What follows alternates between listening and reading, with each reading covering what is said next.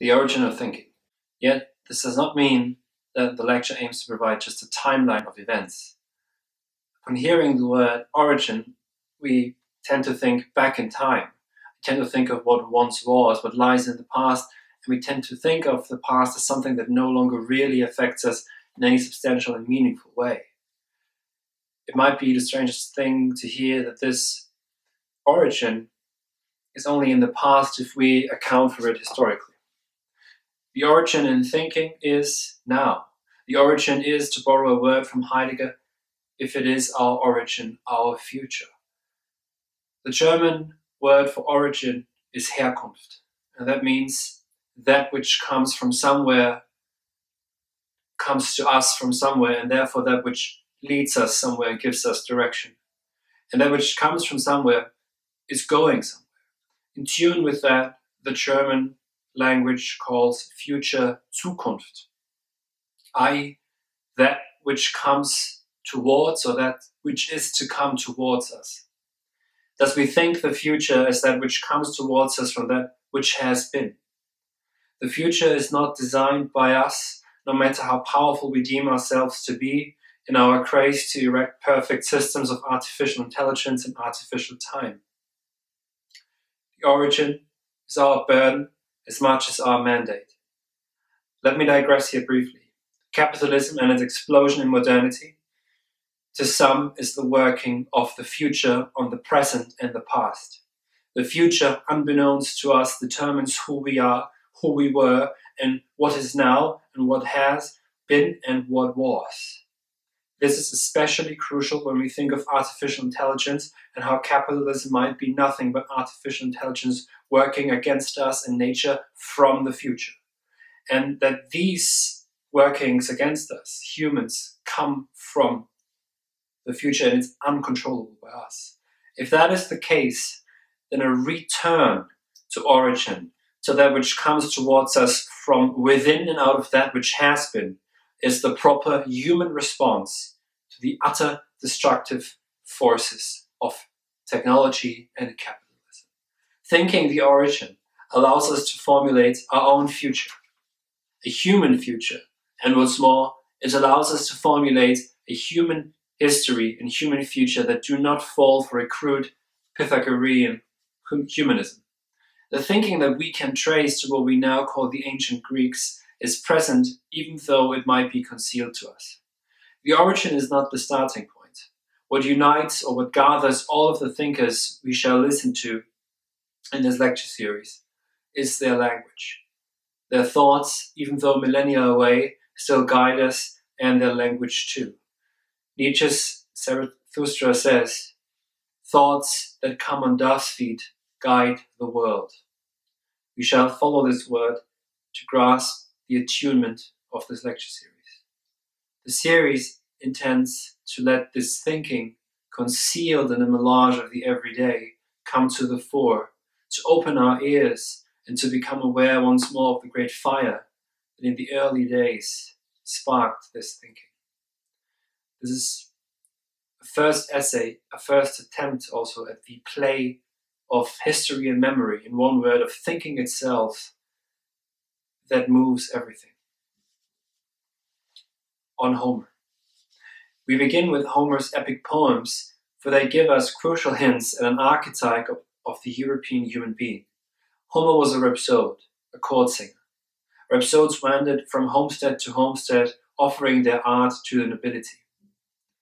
Accompanied with a lyre or simply a stick, they often sang of the great war of Troy and of the journey of Odysseus. For centuries, the rhapsodes sang the great stories they had memorized. They addressed the muses first and begged them to sing through them the mother of all muses, was therefore called Mnemosyne, which means memory. The muse sings to the rhapsode.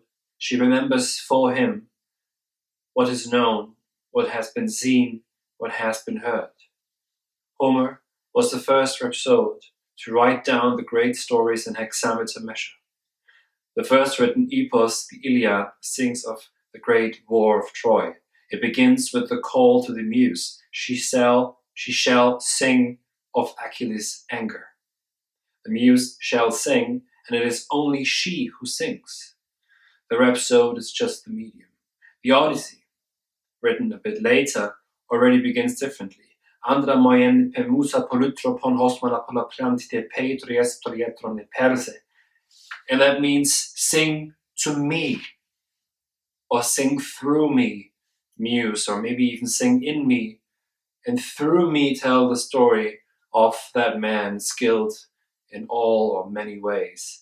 That man is Odysseus. He is Polytropos, a manifold man, turned in many ways, to take it literally, and turned towards many things. We see here a fundamental shift. The rhapsode is no longer just a medium. Now the singer asks the muse to address him personally. Sing to me, Moi, of the manifold man. In both epic poems, however, the rhapsode takes a hearing, listening stance and mediates the great stories to his audience. Audience comes from the Latin verb audire, which means to hear. The story of Odysseus is the archetype of the European, European human being, as the turning, searching, and erring man, pushing frontiers, always conquering, cunning. It is no coincidence that Stanley Kubrick would choose as subtitle for his film 2001 A Space Odyssey, some 3,000 years later.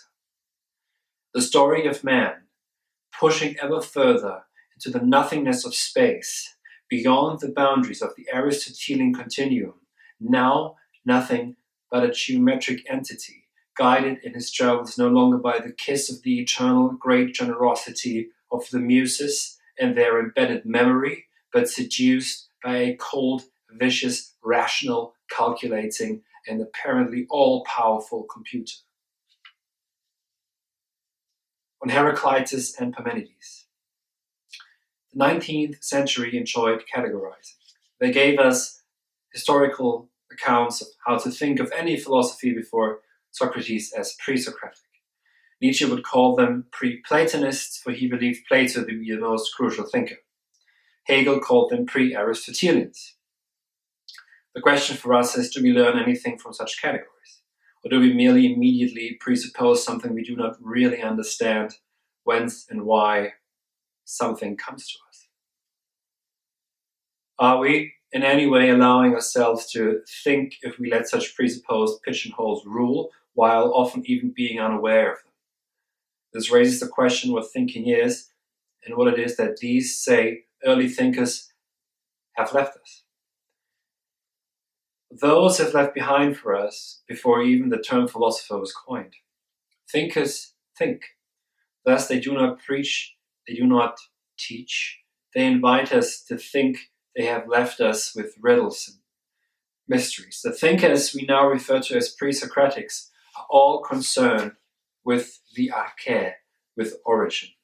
Thales was, as far as we know, the first. The arche for him is water. Anaximenes believed the air to be the arche. For Pythagoras, the arche was the number one. What is most important, though, is that with the beginning of this thinking, things are grounded in the origin and become an interrelated whole. It is a thinking out of and from within origin, arche. They ask for the relationality of things, of beings, for their belonging together.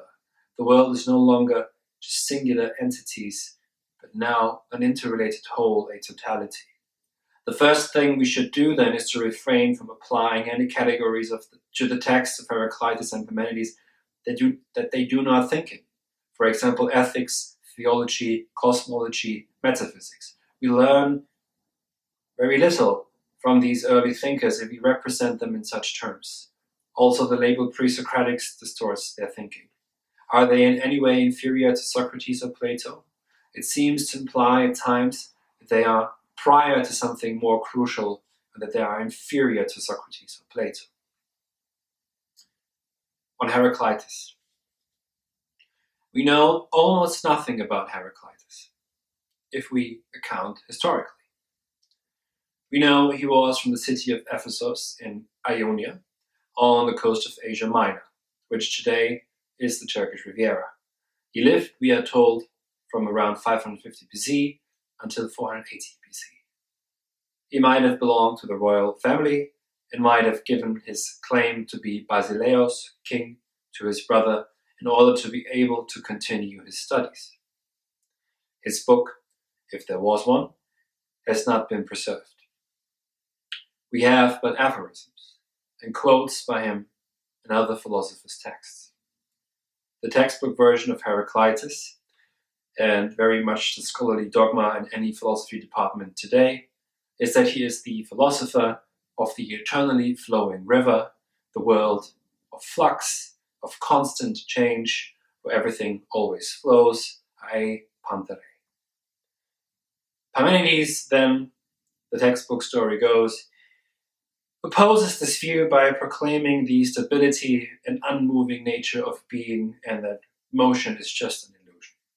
Again, we are trying to move away from such assumptions and instead listen to what we to the words of Heraclitus himself. Thus we are not interested in the person Heraclitus either, but purely in his thinking. We do not evaluate it as to whether or in how far it is consistent or whether there are argumentative tensions in it. Rather, by taking a listening stance to his thinking, we shall try to understand where we come from. Heraclitus is often referred to as the dark thinker, the obscure thinker.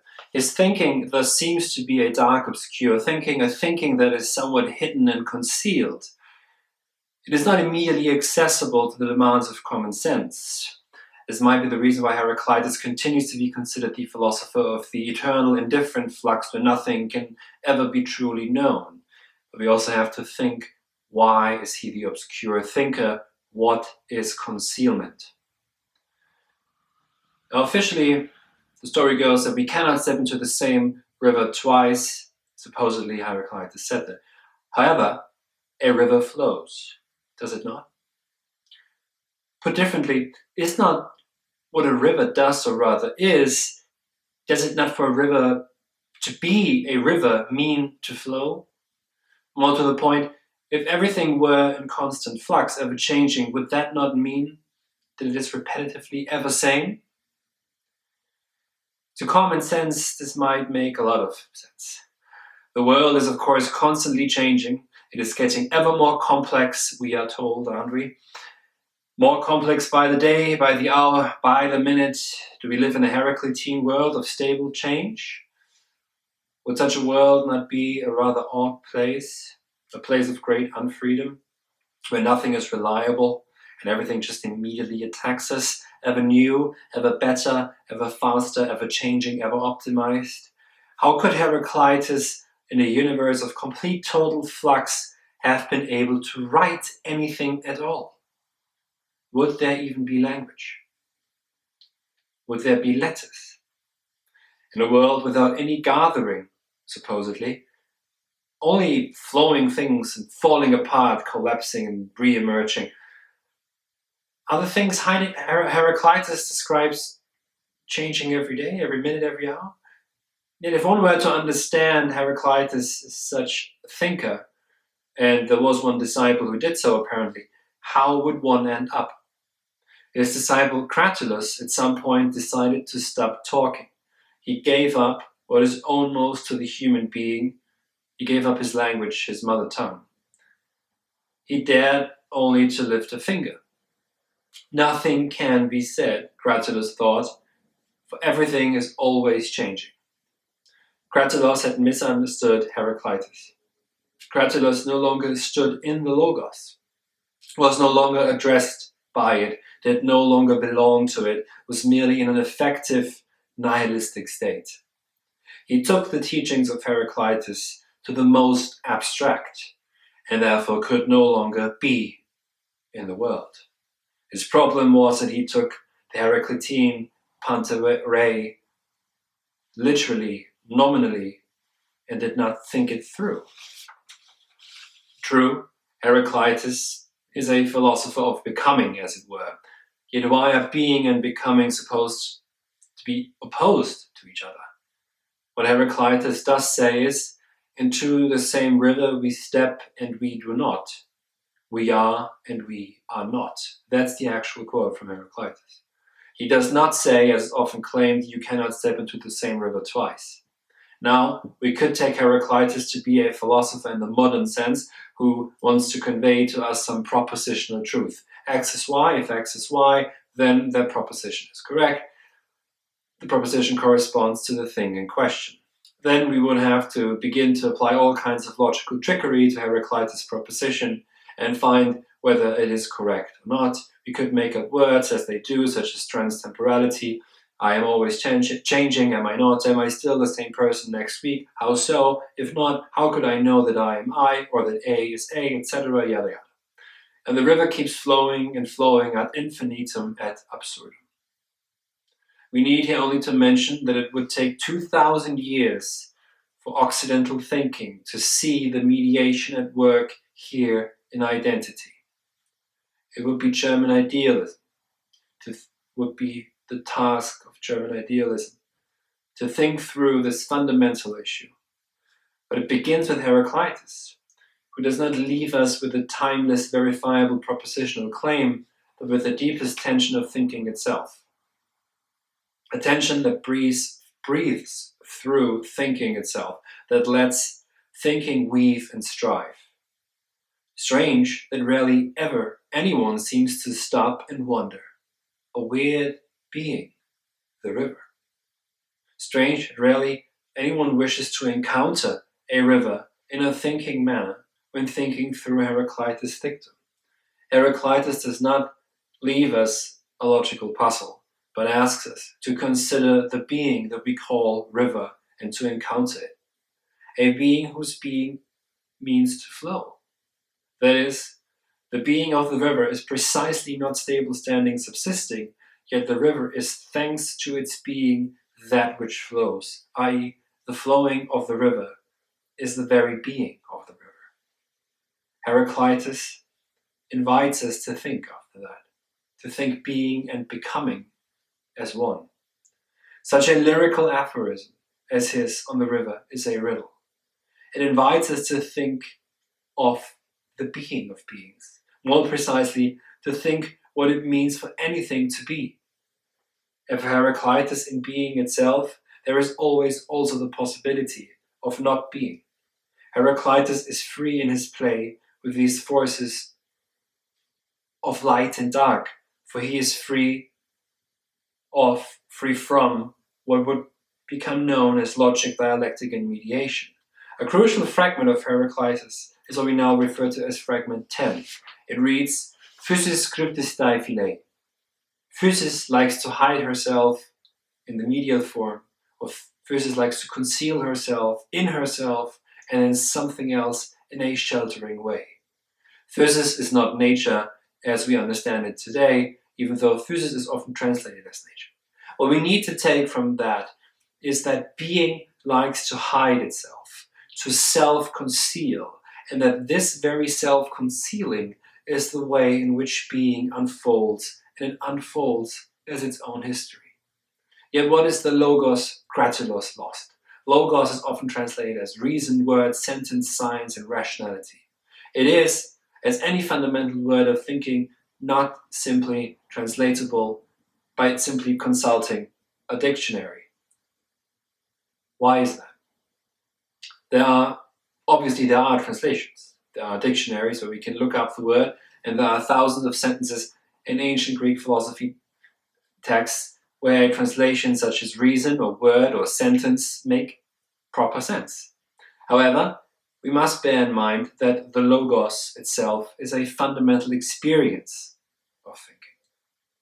This fundamental experience, what the experience is, cannot simply be transferred to another language without having made that experience. And this is why the dictionary has to offer so many and such a variety of words. They're only they're getting at something, but not at the proper full word. The Logos confronts us still, and it does not we can still hear a remote echo of it in words we use every day, especially if we're in academia. Sociology, psychology, biology, genealogy.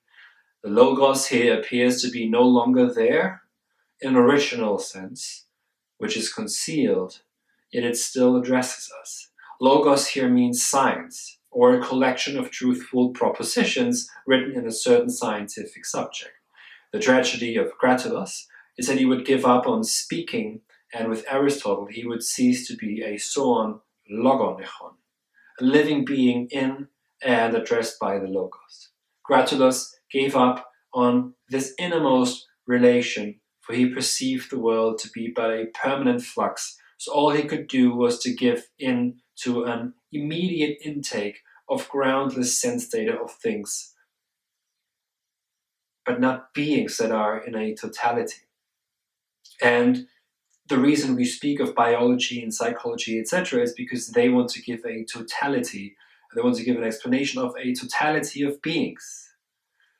And so there is this shimmering of the logos still there, but it's not fully there.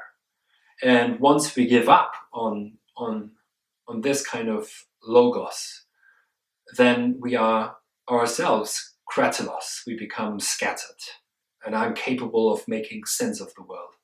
A science of is an attempt to gather, to collect things, explain them as an interrelated whole. Now we read fragment B1 of Heraclitus, where the Logos is addressed. Quote from Heraclitus For human beings are always ignorant to understand the Logos, both before they hear it and when they are hearing of it for the first time, even though all things take place or occur according to the Logos.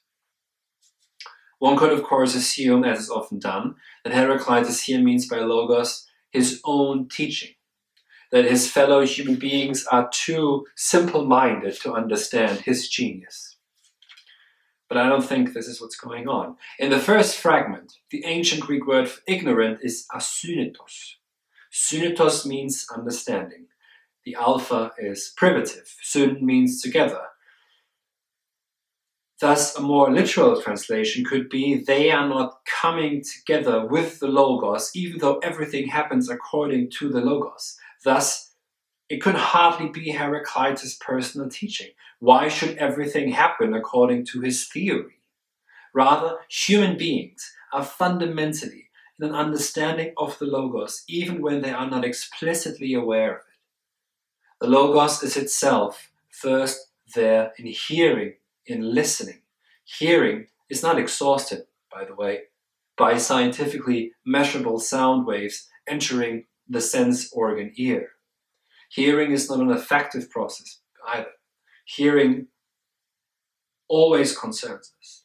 Hearing is what gathers the human being, even when we're not aware. This is why in the ear, for no obvious reason, the human sense of equilibrium is located. The Logos touches us right there at the center, for the Logos itself is that which gathers and concentrates. And when we, for example, read to our loved ones, to our children, we instantiate the Logos. The Logos is hermeneutic and apophantic, and that means that the Logos allows us, in the way in which we exist, the ways we are, to let beings appear as meaningful to us because all life is interpretation. Heraclitus distinguishes the hoi polloi and oligoi, the many as opposed to the few. Now, one could assume that many are those who do not know the Logos, and that only the few can ever know the Logos properly. Yet the many are all of us. Human beings are always the many, always in danger of failing to take on their responsibility of what it means to be a human being, i.e., to respond to the call. Even though we are addressed by the Logos, we may not respond. We might give into the Cratylonian temptation. In another fragment or aphorism, Heraclitus says, Not having listened to me, but having heard the Logos, is what gathers onto the same and allows to say, it is, it is wise that one is all, hen panta. Human beings are in the world, a world of beings and of things, but they are not in it in an immediate sense, thus not in a flux of ever changing things, a world of chaos and no grasp, but human beings are in the world mediated by the Logos, by their belonging to the Logos. It is the task of human being to think the Logos and how we belong to it. The Logos allows to see that one is all.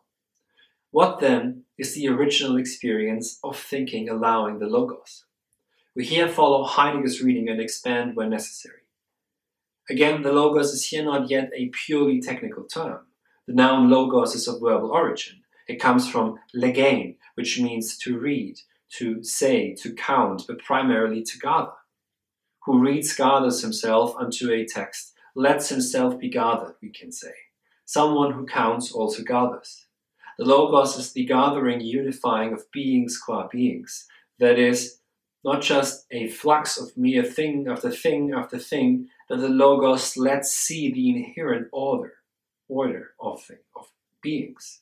The Logos brings to light what is concealed. It gathers into presence from concealedness, lets shine, and in that sense it is apophantic. That indicates that presence always requires unpresence, absence. Only as such can the Logos translate into word, sentence, reason, for it is for its gathering, which human beings respond to, that they can engage, for example, in scientific endeavors, which are but attempts to bring to light what and how something is. The Logos therefore hangs together with truth in the Greek sense, aletheia. Lethos means concealed, hidden. Lethe is the river of forgetting in Hades, the underworld. The dead were taken across the river of, of forgetting, so they would forget who they were. Aletheia, which we translate as truth, thus means out of forgottenness, out of hiddenness into presence, while respecting the lethos, the concealed. The logos is what guides this. Man always hears the Logos even though he might be ignorant of it. We remember that listening to the Logos gathers and allows to see one is all. This is not a normative call to listen to the Logos. Rather, the Logos is the one that brings all things qua beings, that is, in their inherent relatedness, into presence. In the onslaught of beings, the Logos is what helps gathering, so that the human being is precisely not in but a flux of passing, meaningless shadows. The Hen panta is the way the Logos is. The human being is directly addressed by the Logos, belongs to the Logos. Psyches esti Logos eauton auxon. The soul is Logos, or maybe in the Logos, out of itself growing. This is why Aristotle defines the human being as zoon logonechon, the living being in the Logos. The Logos discloses, unconceals what is hidden, physis scriptis philae, that which is, or the way in which beings flourish, likes to hide. Here we can hear difference at work. Even what comes to the front or into presence still is absent on some level, and as long as we do not ask what and how beings are, they are but a flux of things without origin. The world, then, or rather the cosmos of which Heraclitus speaks, is not at all chaotic or of in, one of indifferent flux. The cosmos, Heraclitus tells us, is and always has been. Cosmos means good order. It is uncreated. Its arche is ever living fire regulating, as it were, with measure. The world is a world of opposites. We are and we are not. As we are born, also new death is born, as Heraclitus says in fragment B20. To common sense, of course, this is contradictory. To Heraclitus, however, quote, that which is opposed to one another is being brought together, and from that which is dissonant or different, there is a most beautiful harmony arising. Fragment B8. It is this tension of being and non being, of presence and absence, that allows for becoming. John Burnet adds, in a beautiful book called Early Greek Philosophy, these books like this are not written anymore. I don't know why, but they're not written anymore. The world is at once one and many, and just and that is just the opposite tension of the opposites that constitutes the unity of the one. This is true harmony. To put this in a formula, there is identity in difference.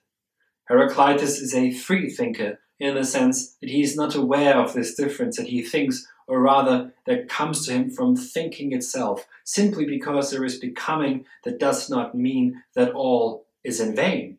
That is what a weak common sense assumes, and that common sense is most powerful today in academic philosophy. You remember now that Heraclitus says we are and we are not. There he invites us to think the not, the nothing, or with an old English word, the naught, and its inherent relation to being, and to think it properly, not, say, nihilistically or existentially. Goethe's poem, One and All, speaks of that. I quote, The eternal strives ever forth in all, for into naught it all must fall, if ever in being it shall remain. The Heraclitean cosmos is thus truly one of becoming and passing. Yet becoming is not subordinated to stable being. Being and becoming are here one, and that finds expression in the river. The river is a flowing being. Its being is flux, it's itself becoming. In that cosmos, God is a child playing with time, with eons, sending his thunderbolts. The thunderbolt, the flash, we have to wonder does it come to us from that which has been, or that which will be, or both? Heraclitus, in any event, thinks being as growing, as bringing forth that which self conceals. The being of the very river is hidden in the river itself, and it is this the reason why so many from Cratylus up until this day are incapable of understanding this crucial insight into being itself. The Old English verb beon still has echoes of this grasping of being and thus means all of the following to be, to exist, to come to be, to become, to happen, to take place. And what comes to be can come to be in so far as it can and must fall into nothingness. But modernity tells us that all stands perfectly present and positively given at all times and leads to more positivity by itself. It's a positive feedback loop. There is also, in any case, no room for spontaneous order in this cosmos of Heraclitus, one of the predominant notions of liberalism and the way in which modernity self articulates. Spontaneous order purely emerges out of the future and must utterly disregard the past, must cut it off. It must actually be futuristic. With Heraclitus, we see already that we must be able to think the nothingness. We must be able to think the nothing the not, the not, we must be able to think negativity again. And this is how we can think of another way of human being in this world.